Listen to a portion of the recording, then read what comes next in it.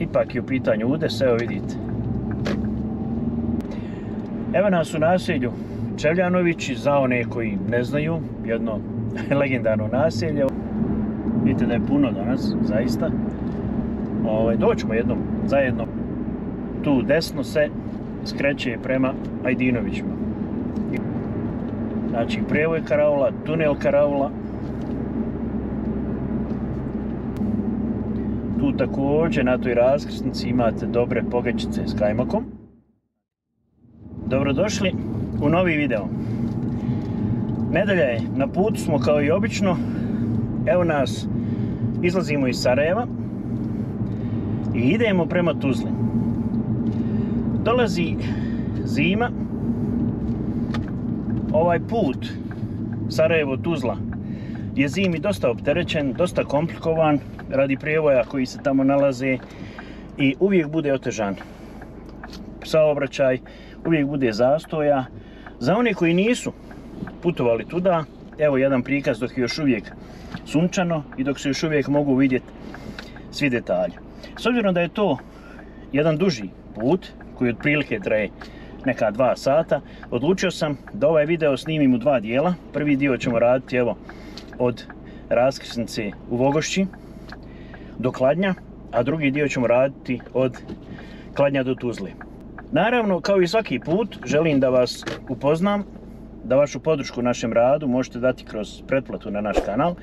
Pretplata subscribe je besplatna, vas ništa ne košta, nama zaista mnogo znači i daje nam podršku za dalji rad. Idemo polako prema Tuzli.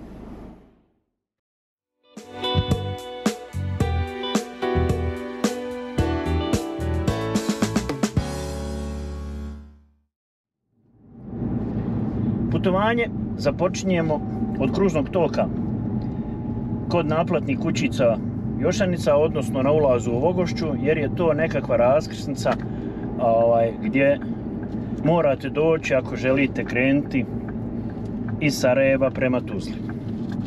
Evo vidite, to je taj kružni tok. Ovo je mjesto gdje možete ući na autoput.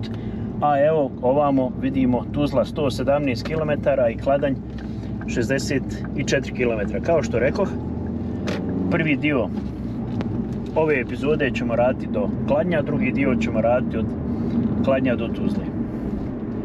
Ova cesta je, već sam u, uvodu rekao, e, zimi dosta opterećena iz prostog razloga što se vozi preko planinskih prevoja, e, što ima dosta saobraćaja, dosta često dođe u situaciju da pogotovo teški teretni kamioni da se popriječe na cesti, da ili nemaju odgovarajuću opremu ili put nije dovoljno očišćen. Uglavnom, ovaj, ovaj put je poznat po tome da se nekad putuje i zaista sporo, radi gužvi, radi svega. I evo, s obzirom da je jedan lijepi sunčan dan, odlučio sam da ljudima koji nisu ovuda išli, a i oni koji su davno išli da ih podsjetim kako izgleda vožnja ovuda.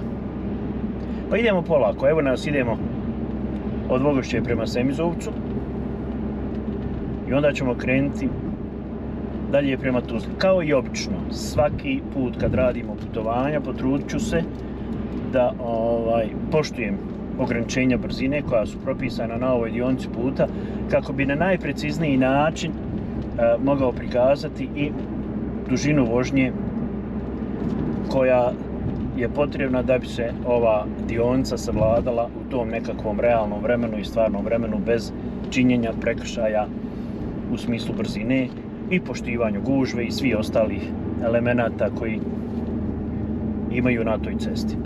Evo nas u Semizovcu i u stvari tu je nekakva prva raskrsnica, lijevo se ide uh, Ilijaš, stari put, isto tako Breza, Vareš, Kakanj, sve, sve ovaj ovuda možete otići, a pravo se nastavlja prema Kladnju i Olovu i dalje prema Tuzli.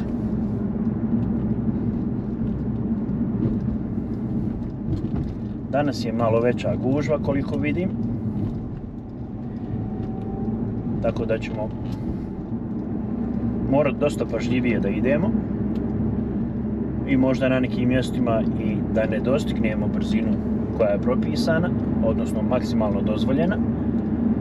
Ovaj, no eto, ispoštovat ćemo elemente saobraćaja koje tu imamo. Znači 61 km nam je do Kladnja, nadam se da će baterije vanjske kamere izdržati taj neki sat vremena, koliko je prilike ima procjena da nam treba u ovom prvom dijelu. Evo kao što vidite, dok izađemo iz Semizovca, ulazimo u tako jedan dio gdje, ovaj, gdje ima dosta zelenila, ali to već i dosta krivina.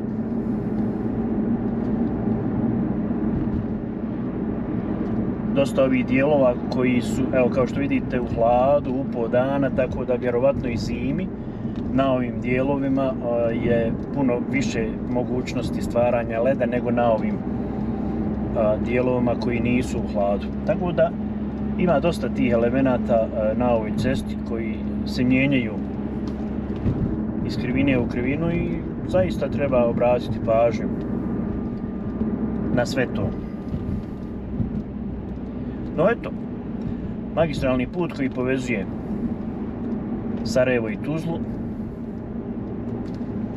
i vidjet ćemo šta se dešava. Već sam zbog kolone prisiljen da vozim ispod 60, koliko je maksimalna dozvoljena brzina u ovom momentu, tako da ovaj,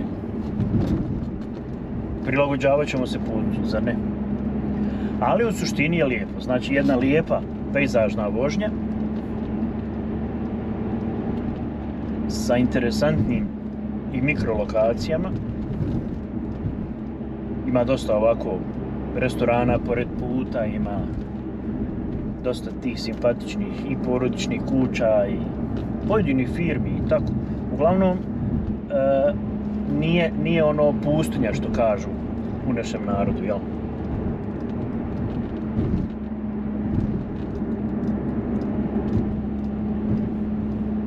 U ovom dijelu nema baš nešto puno eventualnih mjesta ni za preticanje. Ali eto, to je već dosta poznato ljudima koji ovuda voze. No eto, za one koji nisu imali šansu ili rijetko ovda idu ili, ili nisu imali šansu da prođu, a dosta često zimi čuju vijesti da je ovaj da je došlo do obustavljanja prometa, do otežanog prometa, da je se popriječio kamion na dionci između Sarajeva i Tuzle, to je ova dionca i to je ova cesta. Vidjet ćete gore kad dođemo i na prijevoj kako to izgleda. Evo, u neka doba se ovdje prolazi pored škole. Dobro, nedelja je, ali u svakom slučaju može se pojaviti djece, evo, tu ima i školsko igralište pored. Iako je zaštićeno sa žičanom ogradom, ipak treba obratiti pažnju. Jer djeca dođu nedeljom da se igraju na školskom igralištu, pogotovo kad je ovako lijep dan. Tako da oznaka škola mora se poštovati i neradnim danima škole, jel? E, evo, idemo polako.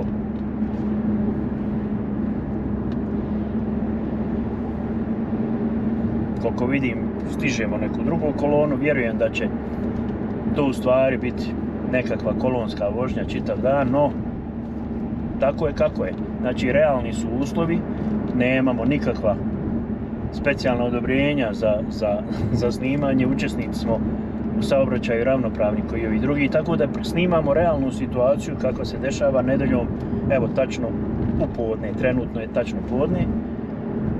Ovaj, I evo jedna sunčana nedelja, potez između Sarajeva i Tuzle.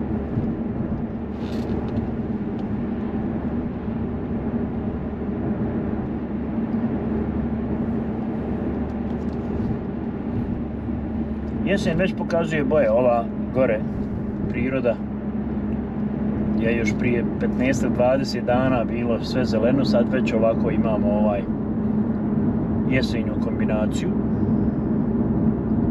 Što i dalje je lijepo. u suštini meni jesen jedino ne odgovara kad pada kiša, sve ovo ostalo je zaista ugodno za oko.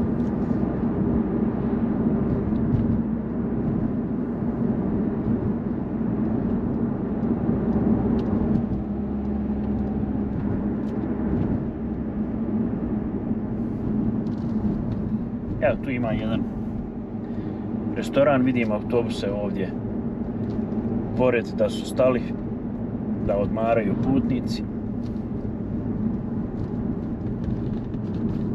A mi opet malo usporavamo. No dobro.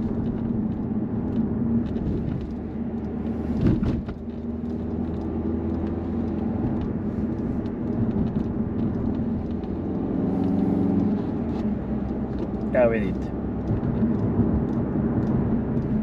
Put je tako ovaj, proveden kroz, kroz, kroz ovaj dio da odjednom uđete u ovaj hladovinski dio i sad zimi ovdje, evo podne je nema sunca na ovom dijelu, znači zimi ovdje recimo možete očekivati da cesta poledi prije nego ovaj dio koji smo upravo prošli. Tako da je i tu ima dosta tih zamki u tim osjenčenim dijelovima, a inače je ovaj put na, što bi rekli, na zlu glasu više zimi ne, nego ljeti u svakom slučaju. Evo smo upravo svjedoci jednog nestrpljivog vozača koji je pretikao kolonu i eto, skoro ušao u makazin. Znači, tri vozila u komadu. Nije preporučljivo, nije ni zakonski dozvoljeno, naravno. Ali eto, to se dešava i to je, to je stvarni prikaz onoga, mislim da, mislim da je tu u prednosti ovaj, kad, kad mi radimo ove epizode, bilo ja sam, bilo sa, sa svojim timom, ovaj, upravo smo tu u prednosti što vam prikažemo realno, stvarno stanje, bez nekakvog ušminkavanja, bez nečega, nego pojavimo se na licu mjesta i ono što se desi ispred nas, to i prikažemo. Tako da nije neobično da pokad kad snimimo i saobraćajni prekršaj ili nešto drugo. Evo nas pored još jedne oznake škola. Raskrsnica prema Solakovićima. Mi naravno idemo dalje. Rijeka Ljubina koju već drugi put ili treći prelazimo.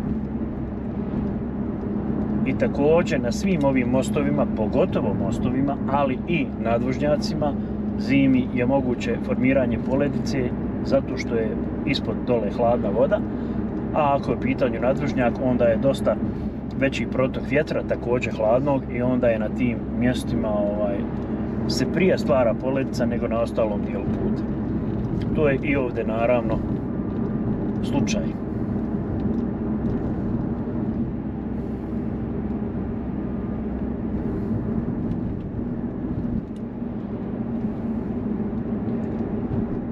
Trenutno uspijevamo održati nekakvu brzinu kolone od 60 km na sat, ali evo vidim na retrovizoru da se formira sve veća i veća kolona i to je u principu dosta čest slučaj na ovoj cesti. Ništa neobično. Ali treba biti strpljiv jer svaka nervoza za volanom može prouzrokovati saobraćajnu nezgodu, nesreću ili tragediju. Evo nas ponovo preko rijeke Ljubine, nećemo sad ni brojati koliko puta smo prešli, ali uglavnom, znači, hoću da kažem da dosta često se prelazi preko rijeke u ovom dijelu i dosta često je moguće u zimskim uslovima na tim prelazima da se ovaj, naiđe na zamrznutu podlogu ovih mostova.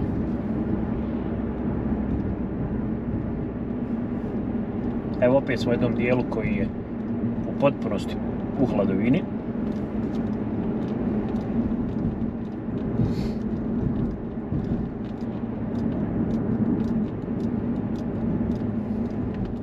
Vidimo i po tome što je očigledno malo hladnije, vidim da neke kuće već se dimi iz dimnjaka, iako je spoljašnja temperatura 17, ali prepostavljam da ove kuće koje su u hladovini, da njima baš ovaj, možda i nije ugodno i da im je potrebno mala već pomoć u dogrijavanju. Tako da, tu je očigledno i vidi se ovaj, ta razlika između hladovine i, i osunčanog dijela.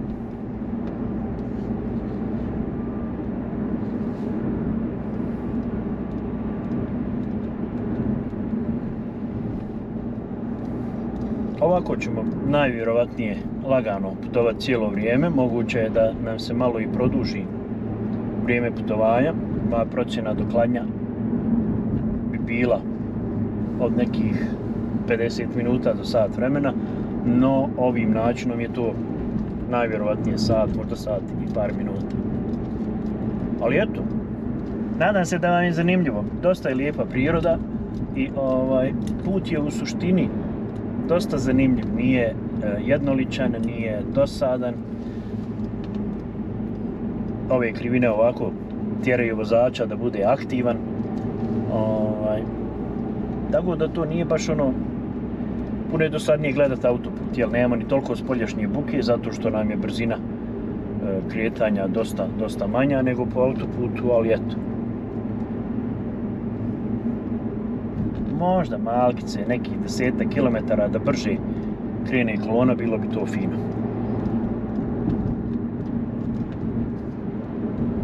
A vidite, dolazimo recimo na krivinu gdje je povećano proklizavanje i to je opet prijelazak preko neke vode i ograničenje 50, takve stvari treba poštovati. Znači treba pratiti saobraćajne znakove i poštovati ovaj, sve te moguće najave, nisu ti znakovi bez veze postavljeni, postavljeni su na bazi iskustva šta se sve dešava na ovoj cesti, tako da ovaj, nemojte bez veze rizikovati. Evo, ako imate znak opasnost, kao što je ovdje, smanjite brzinu, prilagodite se da vidite ovaj, o čemu se radi. Evo ovdje je zanimljiva stvar, evo imate ove domaće proizvode pored ceste, bakrene proizvode, kožarske proizvode, čilime, a, ljudi koji to vole, mogu i ovdje usput da pronaću nešto. Ovdje je kolona skroz usporava. Kao da vidim trokut, najvjerojatnije da ima nešto na cesti. Da li kvar ili sudar, sad ćemo vidjeti. Sve ove nenadane situacije naravno i usporavaju saobraćaj tako da svaki put kod planiranja ostavite nekog prostora za ove situacije.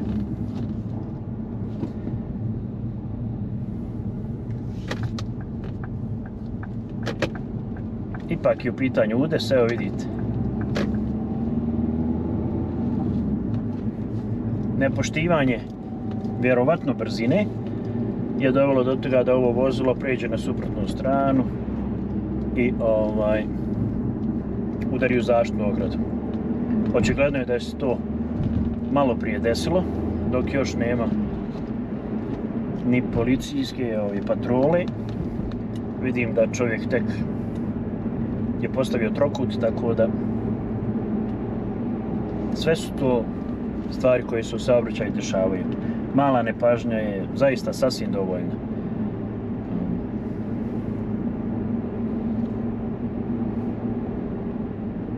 evo, pošto je, vidimo da je čovjek u redu, nije bilo potrebe da stajemo, pretpostavljam da će ubrzo doći patrola. Mi idemo dalje.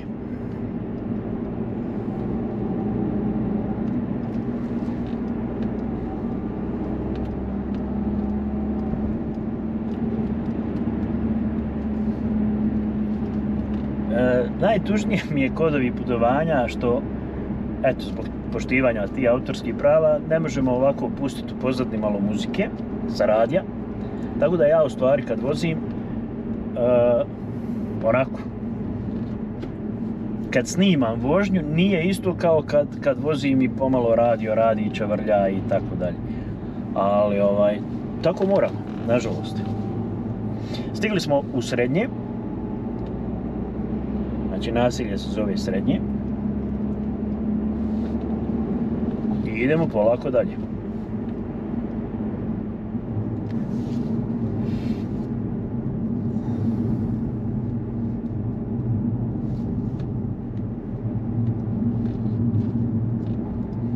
Evo i ovdje imamo, vidite, oznaku. Vidim da je izgrebana cesta i ovdje imamo oznaku da je za vrijeme kiše ovaj dio dosta klizav. U dužini od 1200 metara. I vjerovatno je i ova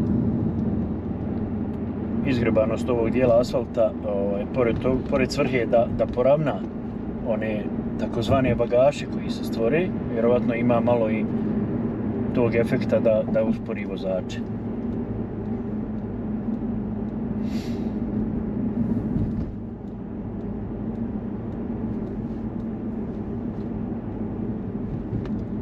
Ja ću vjerovatno negdje prije kladnja stat čisto da provjerim napajanje vanjske kamere jer očigledno je da će to biti na granici onoga što baterija može da izdrži, a ipak je kameri vani zbog ovog vjetra malo hladnije, tako da je moguće da, da baterija i kraće funkcioniše u odnosu na onaj njen maksimum koji može postići u normalnim temperaturnim uslovima. Mislim da je vjetar ipak dosta hladi, bez obzira što je napolju je čak trenutno 21 ovaj, stepen.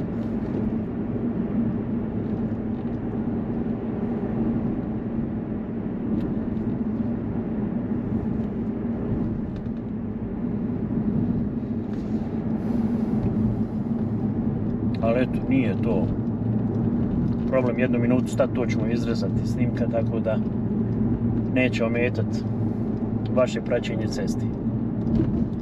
Izlazimo iz naselja srednje, dobivamo, dobivamo ograničenje brzine 70 km na sat, tako čisto sumnjam da ćemo ga postići, jer je kolona u nekakvom svom ritmu. A iskreno, evo, bez veze i postavljeno, jer već nakon 50-100 metara imamo opet oznaku 50, tako da nismo stigli ni ubrzat, već nas vraća ograničenje nazad. To je radi krivine, evo ponovo se vraća na 70. Uz najevu pješačkog prijelaza. Odnosno pješaka na cesti. Ne pješačkog prijelaza, neko mogući pješaka na cesti.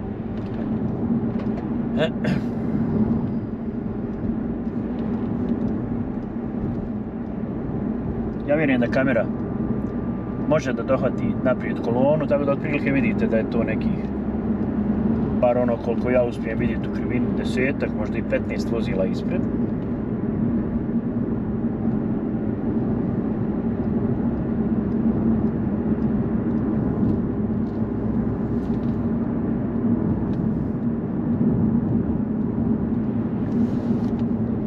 Sad sam upravo vidio reklamu a, na kojoj piše sigurnost i u vašim rukama prikazuju se ruke koje drže volan, evo. Složio bi se sa tim, iako je reklamo neku drugu svrhu, ali složio bi se sa tim da je vaša sigurnost najviše u vašim rukama i onaj koji drži volan je u stvari taj koji odlučuje koliko će siguran biti u vožnji.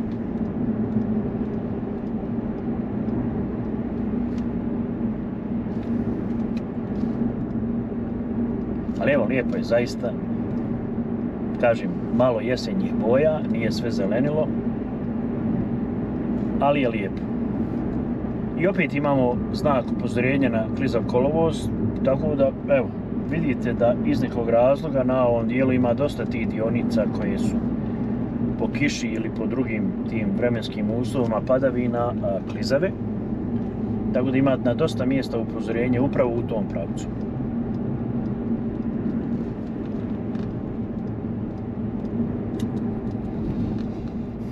Imaju ovi radova zakrpi, naravno, kao i na svakoj cesti u Bosni i Hercegovini, to tako izgleda.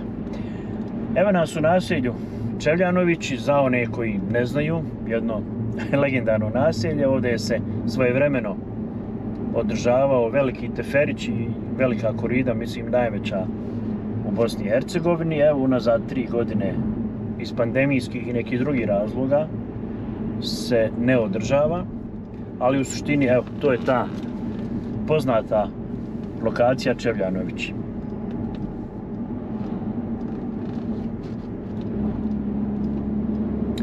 U suštini nije ni daleko, recimo, od Sarajeva, evo vidite, to je nekih, koliko? 15 minuta se vozimo do ovde.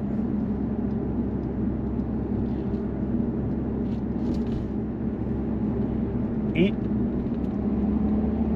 odmah tu na izlazu iz Čevljanovića u stvari se krećemo i penjati. Ovo je u stvari sada taj dio koji je najviše sporan zim, odavde počinje taj dio. I malo da vidimo i kako to izgleda.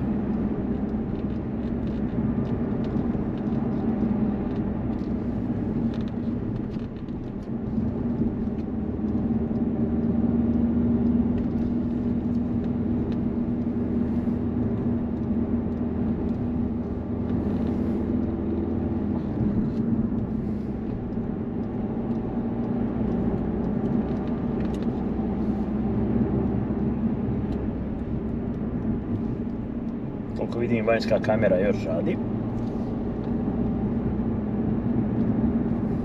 Rano je da provjeravamo, ali već nakon nekih pola sata mislim da bi trebalo da to provjerimo.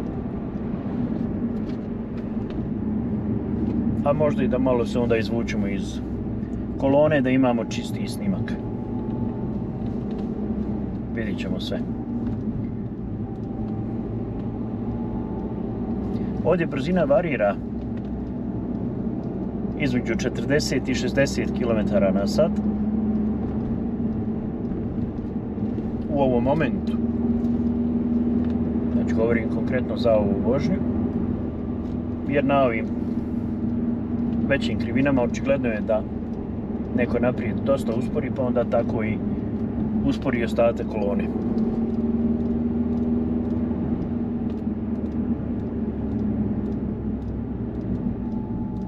A ovdje čak i znak spušta na 40, tako da je ovo jedna opasnija krivina.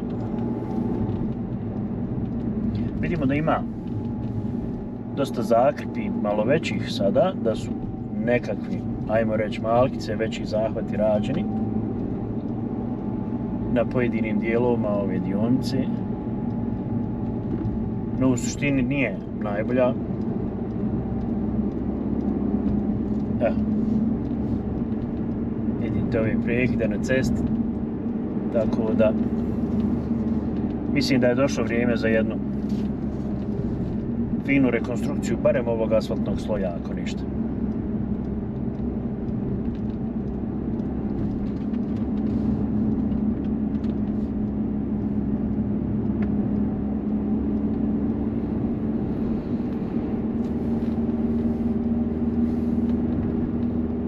Evo vidite, tu je, je najviše ovaj, usporavanja na ovim krivinama, evo opet je 40 oznaka na ovom dijelu. I sigurno da su teški kamioni, pogotovo zimi ovdje naj, e, vozila koja najviše zagušenja naprave ovaj, za saobraćaj u cjelini. Evo upravo vidite dva kamiona koji silaze, sad je suho i sunčano, pa je to ovaj, puno lakše, naravno. Zimi ne mogu ovako brzo kao sada ni nizbrdo, a kamoli uzbrdo.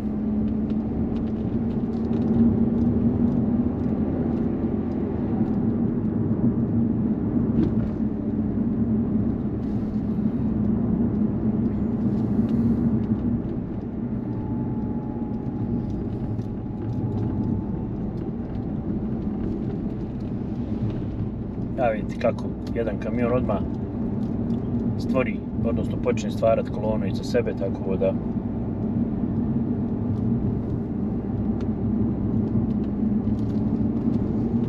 redovna pojava na ovom dijelu puta.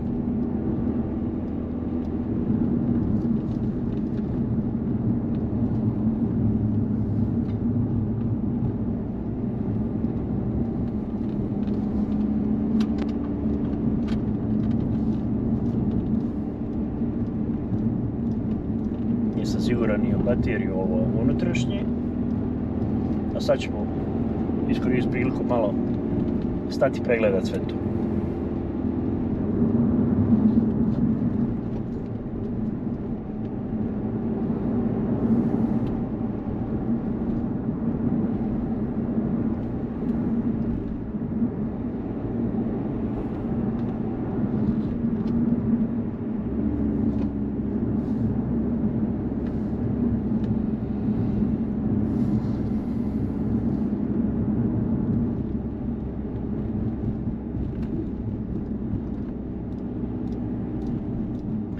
Crnoriječka visoravan.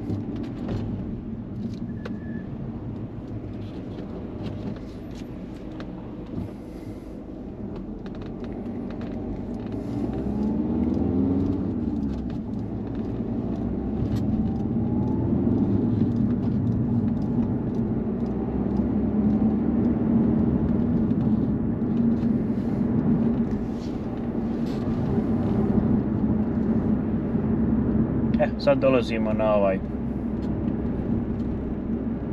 izuzetno lijep dio što se tiče pejzaža.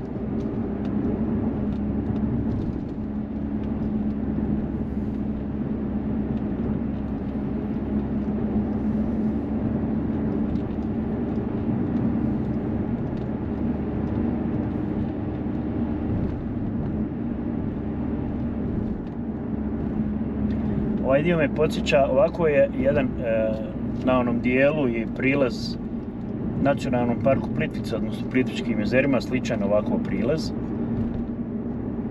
Kroz, kroz šumu ovako cesta, tako da je ovaj, onako interesantno dosta. Lijepo izgleda.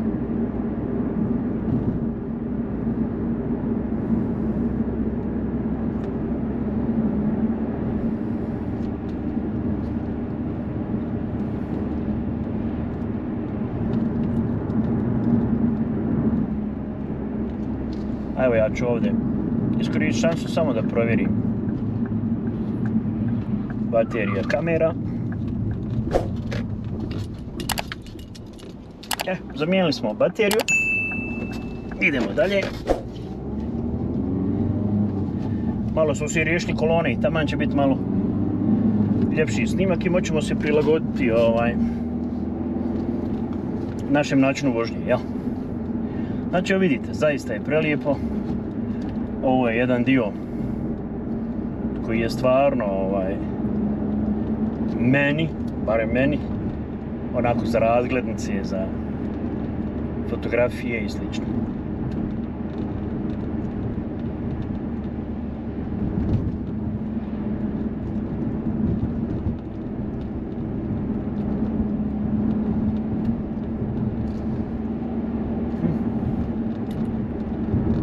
Ovdje ima dosta objekata i zdrave hrane i restorana na ovom dijelu. Ovaj, A tu su blizu i Bijambare, odnosno taj centralni dio sa pećinom, sa svim što, što je tu postavljeno. Interesantna, interesantna prodaja ovdje pored. Čovjek prodaje onaj prirodne proizvode koje uzgaja, ali natpis radnje je seljačka posla, tako da je onako a, reklamno, reklamno me privukao da pogledam.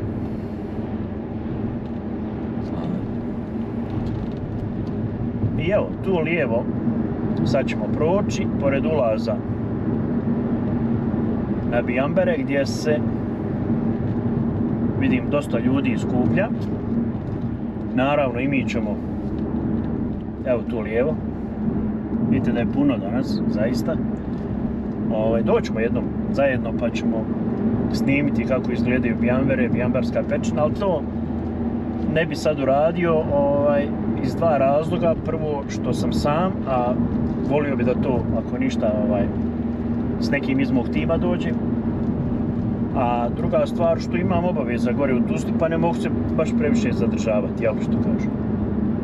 Uglavnom, eto, prošli smo Bijambare, idemo dalje. Malo su se riješili kolone, što je dobra stvar. Imate bolji prikaz. A možemo se prilagoditi ovaj, propisima nevezano da nas kolona ometa, jel?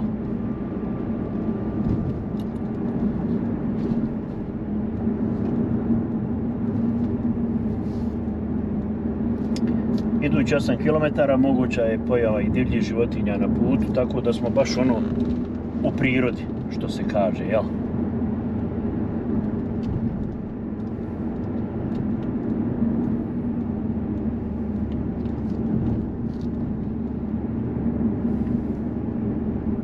I dalje prolazimo kroz dijelove sa hladovinom, dijelove osunčane i cijelo vrijeme u stvari je ovaj put tako i postavljen.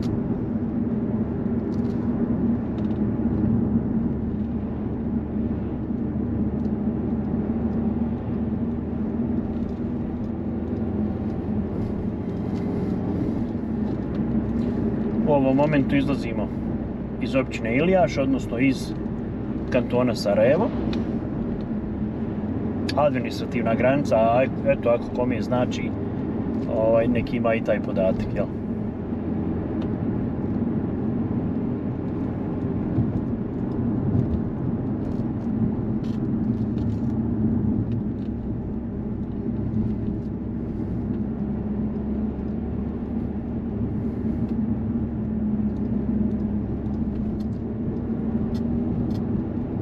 Evo vidite, zaista je onako čak jednim dijelom podsjeća i na onaj na penjanje na Frušku goru ovaj dio od Rume kad se penje. A eto mislim. Tako, neke, neke e, slike podsjete na te neke druge relacije i lokacije kuda sam hodao. Tako da nije to neobično, vjerojatno se i vama desi. Mislim da dosta često tako i onaj deja vu efekt se desi kad vam se onako slična, slična situacija onaj pred očima pojavi onda mislite da ste tu već bili. Evo nas u Bakićima.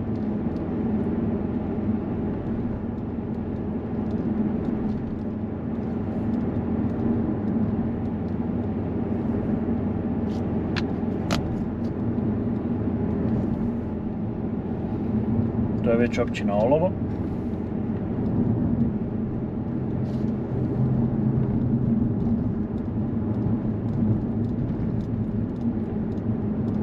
naravno, kroz svako naseljeno mjesto ćemo pažljivije. A i da malo vidimo okolo ovako. Šta ima, kako ima.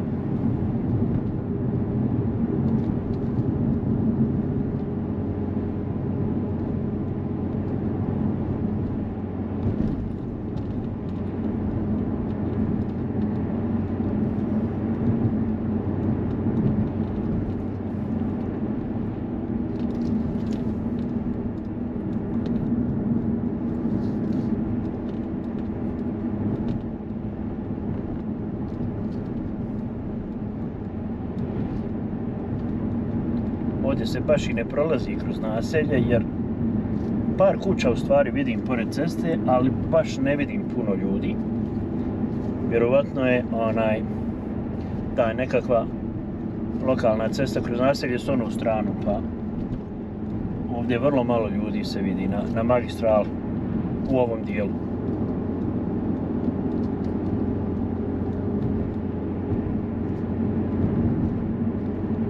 Inače, evo sad idemo nizbrdo.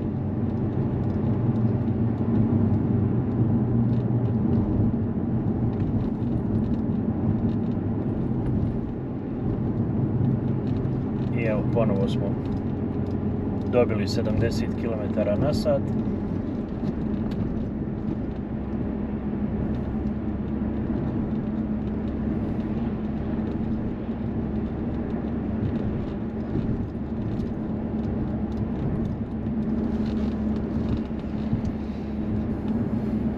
Dosta zanimljiva cesta ovako. E, nije najlakša za voziti. Nije ni preteška, ali zanimljiva u smislu da se može vidjeti sa strane dosta zanimljivih stvari, dosta lijepe prirode.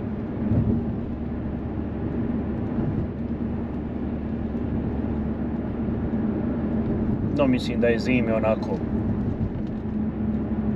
u zahtjevnijoj klasi cesta u odnosu na prosječni.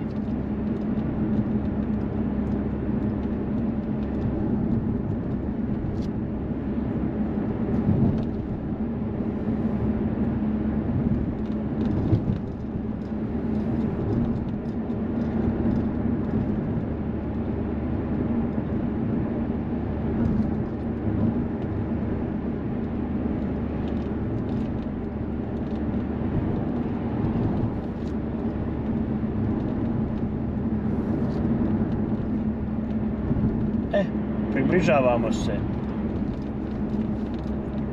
još jednoj lokaciji za koju vjerovatno većina vas ovaj, zna, a to je e, sportsko-rekreacijni centar Ajdinovići. Ulazimo u naselje Dolovi i tu se nalazi i skretanje prema Ajdinovićima. Barem mislim da je ovdje e, dosta blizu jer prepoznajem lokaciju. Tako je, evo. Tu desno se skreće prema Ajdinovićima. Ima i veliki evo natpis, ne možete promašiti. Tako da onaj ko želi, to je tu otprilike. Evo. Mi idemo dalje, naravno. Ovaj, izlazimo iz dolova. Ovako kad se izađe na sunce iz onog hlada, isto drugi dan da se, da se ovaj, da se u drugom danu pojavimo. Kolika je razlika.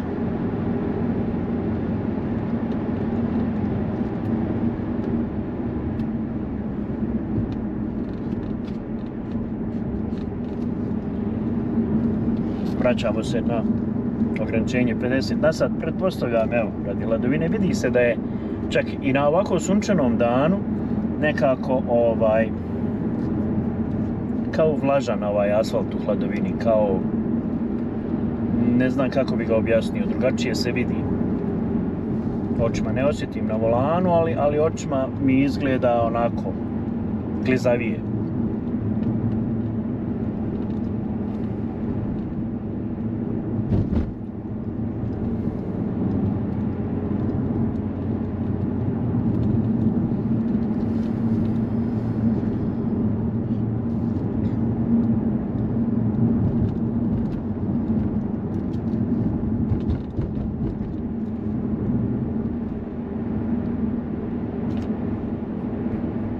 Evo ovdje imamo baš nekakav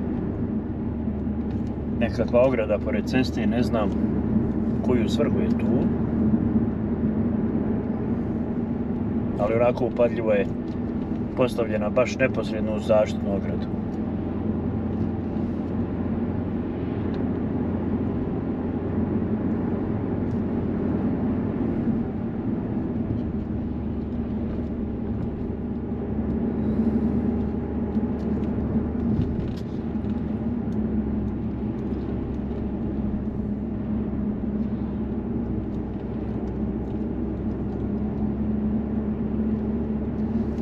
Mislim da se mi polako spuštamo u olovo. To je ovaj onako malo uski krivudajući prilaz nizbrdo.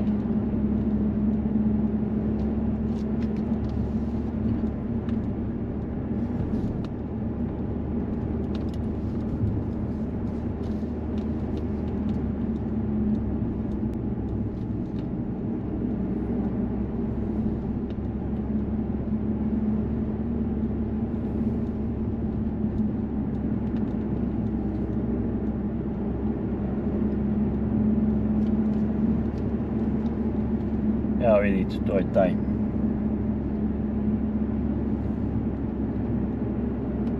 Ulazak u olovo.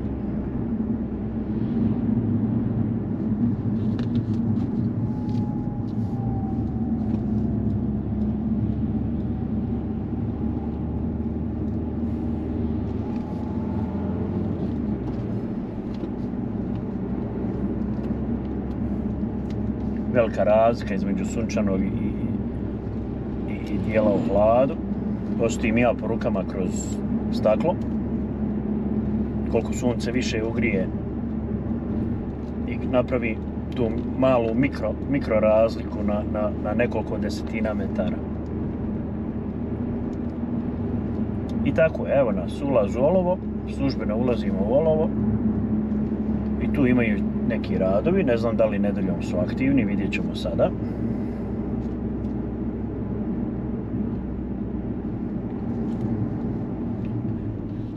Jesu, imat ćemo čekanje na ovom semaforu. A da, to ovaj most se renovira.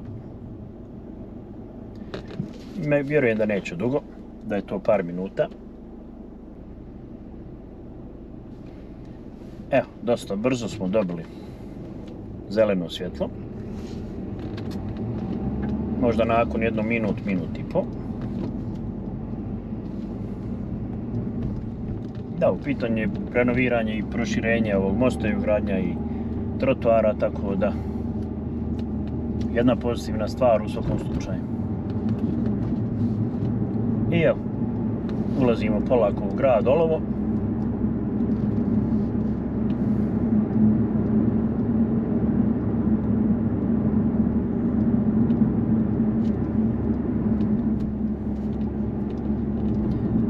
Nisam imao šansu da prošetam kroz Olovo, to mi je malo žao, dosta puta sam onaj prošao, ali eto nekako nikad nisam imao šansu. Inače, Olovljani imaju uh, tako običaj da svoj grad zovu gradom budućnosti.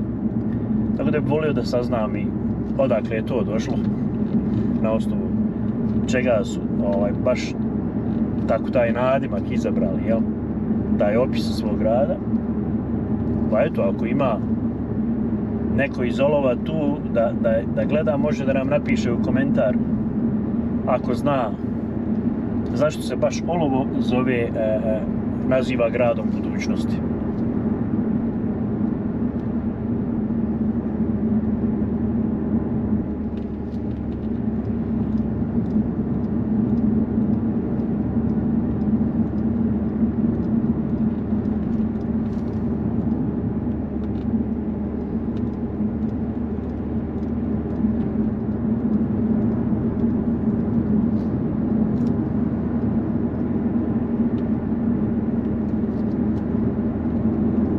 Evo, izašli smo iz Olova. Idemo dalje prema Kladnju.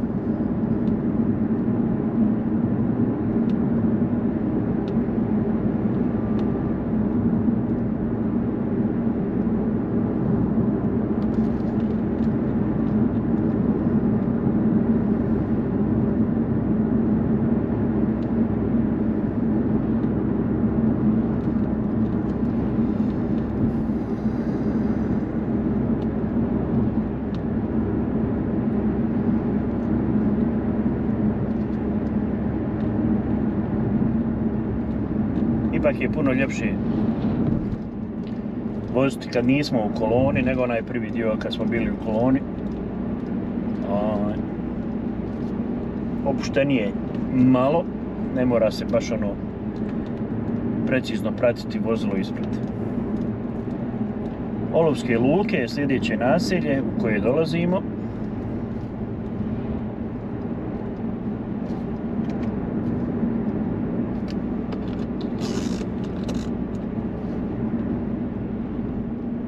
Malo da preusmerim klimu, drugačije.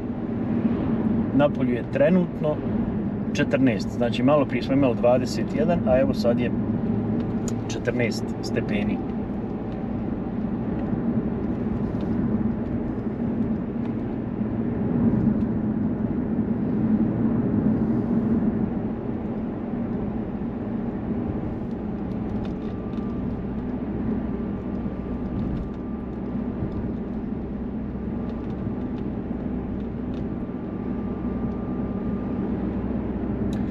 Kladanj još 19 km, znači blizu smo dosta Kladnja gdje ćemo završiti ovaj prvi dio ovog videa i moram vidjeti da li ću uopšte imati baterije da snimim nastavak ili će se to ostaviti za neki drugi dio.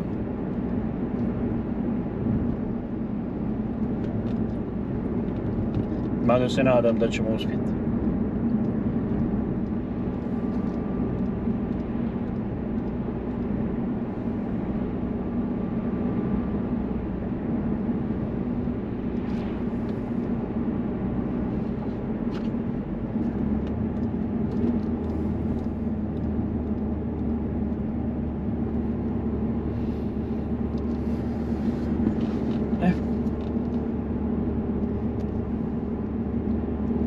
ponovo dolazimo na dio gdje ćemo se penjati na prevoj.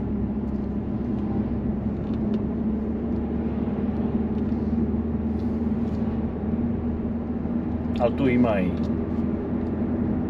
tunel znači novi dio ceste novi urađen je prije nekoliko godina tako da se ne ide skroz preko prijevoja ali evo kad dođemo gore onda ćemo pokazati kako to izgleda.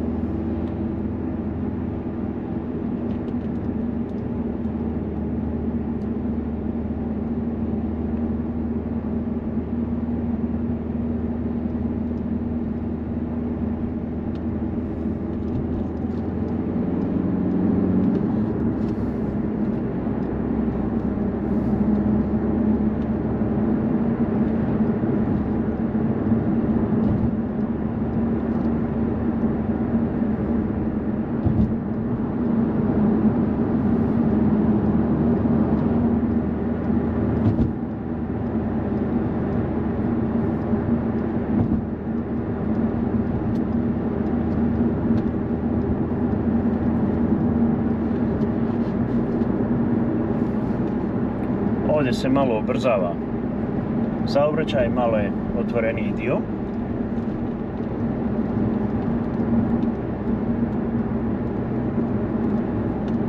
Naravno, opet govorim da su razlike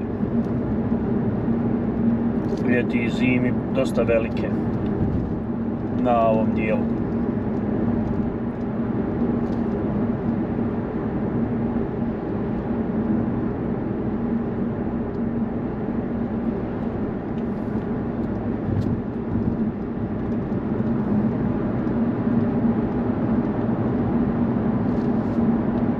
ovaj tunel nije osvjetljen, pa vjerovatno ste me slabo vidjeli u momentu.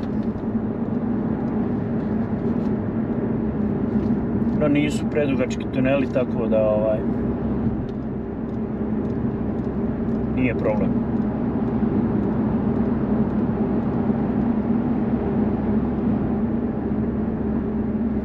Ovdje imamo i upozorenje o obaveznoj upotrebi zimske opreme.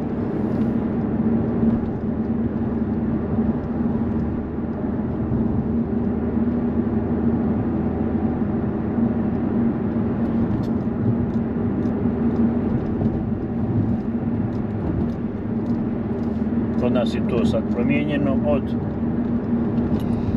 1.11. do 1.4.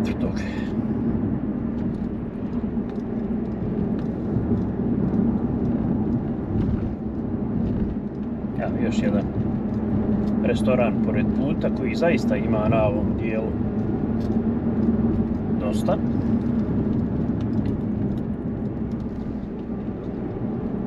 E, sad opet ulazimo u jedan, ajde onako reći, uži dio sa puno više krivina i sa malo većim brdom.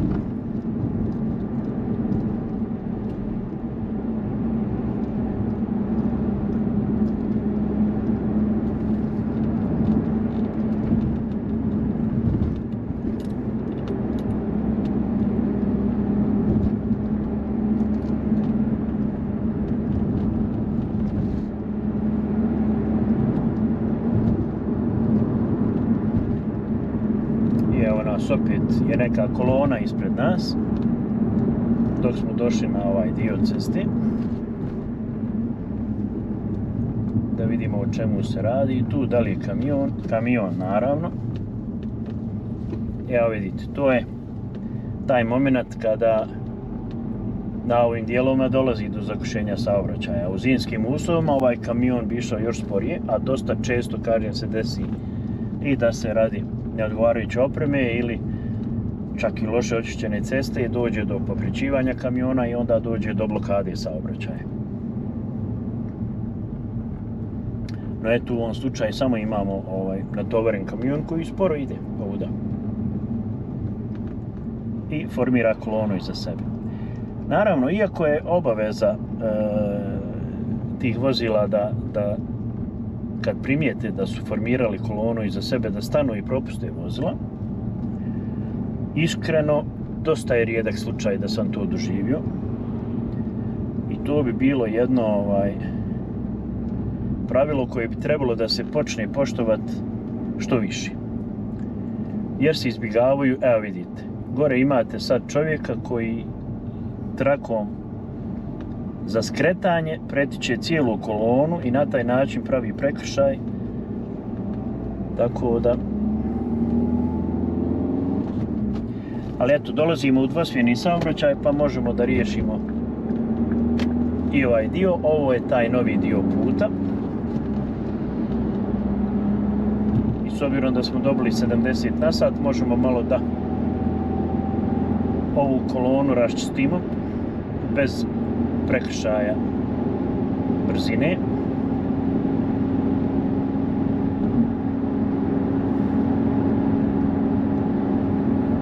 I da pustimo ove koji hoće još malo brže da idu.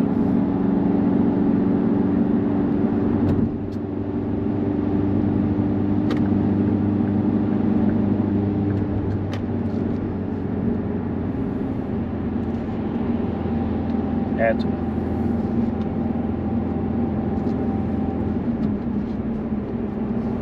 To je novi dio puta koji malo ovaj prevoj poboljšava prelaz preko njega.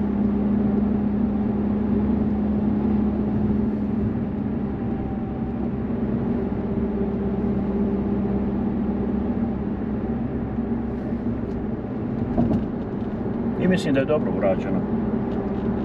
Ali ovaj donji dio ceste koji je uzak također bi trebalo da se renovira u suštini. Vraćamo se u jednu traku jer dolazimo na tunel. Znači prevoj Karaula, tunel Karaula. Tunel je dvosmjerni saobraćaj. Tako da je jedna traka, evo vidite i po oznakama iznad. Desna traka je zelena strelca, lijeva traka je crveni X. Znači to vam je znak da je u pitanju dvosmjerni saobraćaj u tunelu.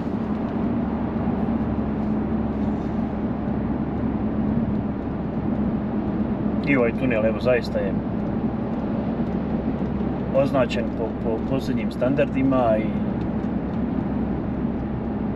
sa svim sadržajima od, od, od evakuacijskih vrata, prolaza, oznaka.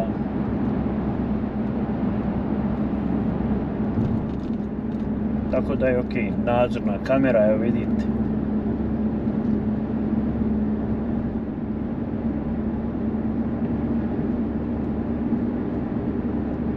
Evo oduzdo je također, s obzirom da je oduzdo prema tunelu također brdo, je dupla saobraćajna traka upravo za raščišćavanje ovakvog gužvi.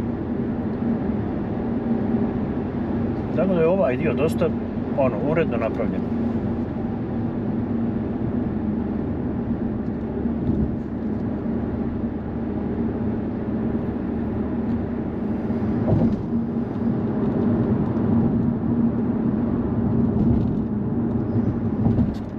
Evo, tu se spajamo na stari dio ceste koji je zaobiđen ovim tunelom, znači sami taj vrh prevoja Karaula i nažalost opet smo na onom lošem dijelu ceste, dalje se nije ništa radilo na poboljšanju uslova.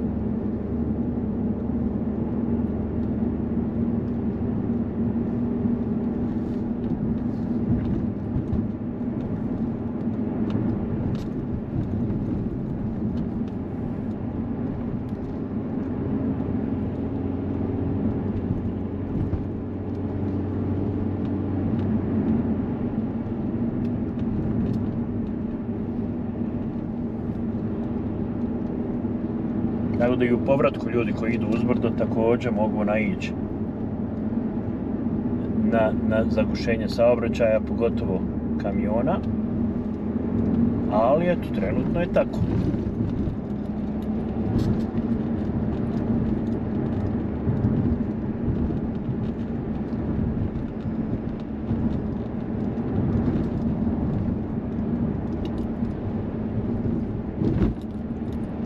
Približavamo se kladnju i kraju prvog dijela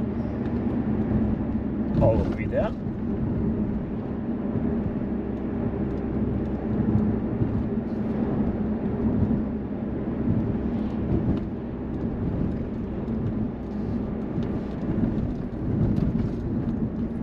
Vidite koliko je ovdje već kolovozni zastor, asfalt oštećen.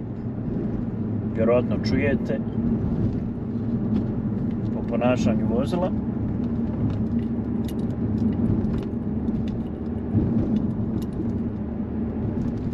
U ovom dijelu su mogući odrani kamena bez obzira na, evo ga upravo iza krivine smo vidjeli.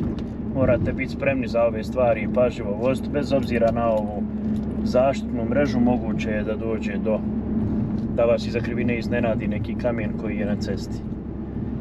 A dosta često, pošto je velika gužva, nećete ga moći ni izbjeći, morate biti spremni da zakučite ili da ga zaobiđete ako ste u mogućnosti.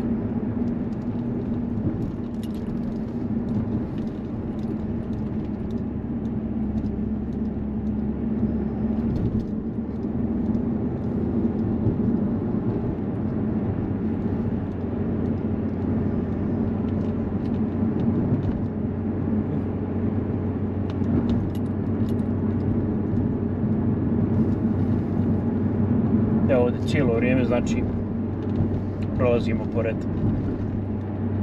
dijelova gdje je moguće da budu manji ili veći odron kamena. Tako da eto, treba vratiti pažnju na to.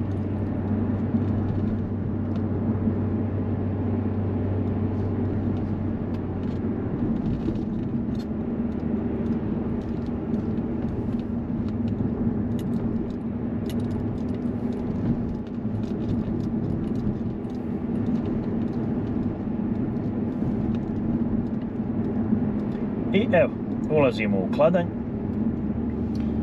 Još uvijek imamo vanjsku kameru, dobro je. Znači imamo snimak. Naćemo gore na raskrsnici pogodno mjesto gdje ćemo završiti s ovim prvim dijelom i nastaviti drugi dio našeg snimka. Da vidimo jedan zanimljiv terenac ovdje koji je očigledno upravo baš sa terena došao. Uvijek su mi ti terenci specijalni i zanimljivi i volio bi da nađemo ovako njih par, da ih uporedimo i uradimo testove, pa probat ćemo nešto da izvedemo.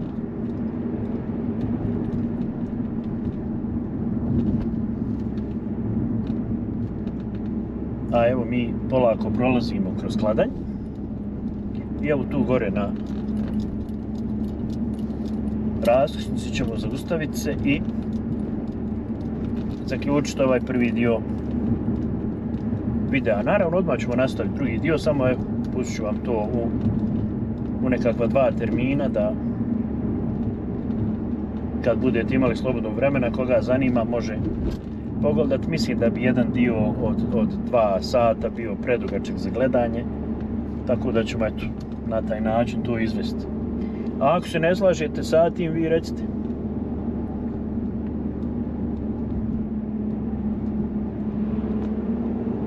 Pa drugi put onda napravim ako, ako niste za drugi put napravim onda u komadu 2-3 sata jel? ali mislim da je maksimalno do sat moguće da ovaj, ovdje imamo i onu maketu policajca radi preventive aj već je to poznato jel? htio sam reći da mislim da je sat vremena maksimalno, možda čak i pola sata u stvari optimalno za gledanje, ali eto ovako kad je putovanje, ajde do sat vremena. I nekako već preko sat vremena mislim da je ovaj, previše i koncentracijski i čisto vremenski tako da ipak bi, ipak bi tako radio, a ako se vi slažete naravno.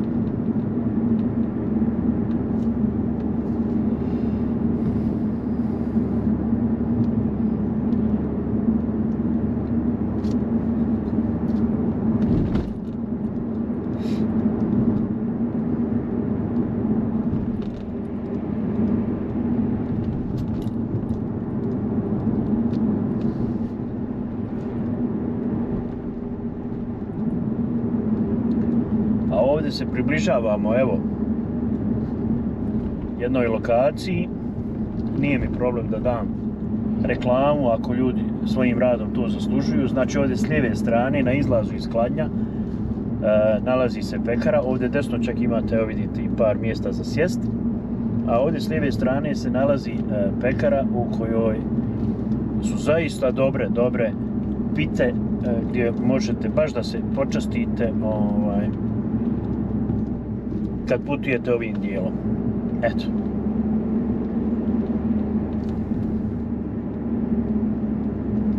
I evo nas na ovoj raskrsnici. Prilazimo. Tu također na toj raskrsnici imate dobre pogačice s kajmakom. Znači, najbolje su definitivno za mene one kiseljačke, ali i ove nisu loše. I evo tu ćemo i stati da zaključimo ovaj prvi dio ove relacije. Tu desno vam je skretanje Zvornik, Vlasenica, Srebrenica, pravo se ide za Tuzlu. Eto. To je to, ulazimo ovamo na parking, nećemo daleko.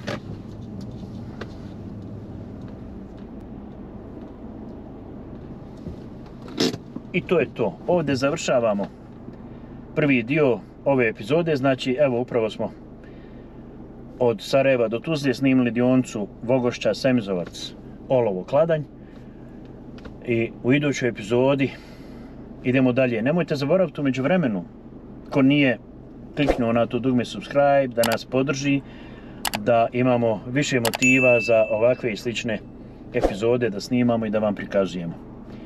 Nastavak slijedi u sljedećem dijelu od Kladnja do Tuzle. Vidimo se.